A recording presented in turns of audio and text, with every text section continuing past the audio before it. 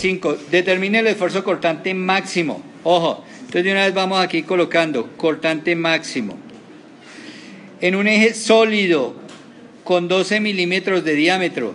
Entonces, si 12 milímetros es el diámetro, el radio son 6 milímetros. Ojo, y este es radio exterior, ¿no? Porque el eje es sólido. Me dice que transmite 2,5 kilovatios. 2,5 kilovatios es una medida de potencia. 2,5 vienen a ser 2.500 vatios, ¿no? 2.500 vatios. Para el inciso A me dicen que la frecuencia son 25 Hz. Recordemos que Hz es lo mismo que 25 segundos a la menos 1. 25 segundos a la menos 1. Segundos a la menos 1 es la unidad, las unidades. Listo. Bueno, entonces como lo habíamos dicho, si a mí me piden cortante máximo, pues yo sé que el cortante máximo para un eje se ve en el exterior de sus moléculas y que lo calculo como el torque por C sobre J. O sea que necesito las tres de dos cosas realmente, el torque y el radio. Pues ya tengo el radio que son 6 milímetros, me faltaría el torque, ¿cierto? Pero el torque, yo sé que hay una forma de sacarlo, conocida la potencia y conocida la frecuencia.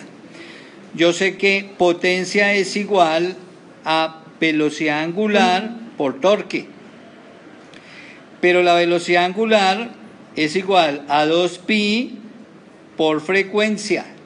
La sola velocidad angular equivale a 2pi por frecuencia. Quiere decir que eso iría multiplicado por el torque. Y entonces la potencia en este caso es 2 por pi. Como me dan la frecuencia 25, las unidades segundos a la menos 1 es lo mismo que dejar segundos en el denominador, ¿no? Por el torque que lo vamos a dejar indicado T, ¿cierto? Y como la potencia me, la, me la dan 2500 vatios, entonces voy a cambiar esta potencia, esta P por el valor de la potencia, que son los 2500 vatios, que habíamos dicho que eran newton por metro sobre segundo. En el manejo de las unidades pues va a ser muy sencillo porque este segundo se cancela con este segundo, ¿cierto? Y fíjense que me va a quedar el torque expresado en qué unidades. Newton metro, porque lo demás no tiene unidades, ¿cierto? 2 por 25 nos da 50. Y por pi, 50 pi. Quiere decir que aquí tendría 2500 newton por metro dividido 50 pi. Y este sería el valor del torque. Y como ya conocemos el torque, entonces ahora sí vengo y digo acá que el cortante máximo es igual al valor del torque, miren. Pero el torque es cuánto? 2500, ¿cierto? Newton por metro sobre 50 por pi. Por C, que es el radio exterior. Entonces el radio exterior aquí dijimos que son 6 milímetros, o sea 6 por 10 a la menos 3 metros.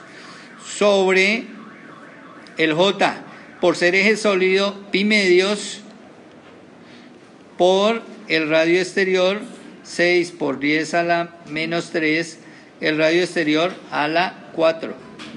¿Cierto? Y sencillamente si hago esa operación, ahí ya obtengo el valor del cortante máximo. 46.9 megapascales. Este es el valor del cortante máximo en la parte exterior del eje. Bueno, esta es la respuesta de la parte A, ¿cierto?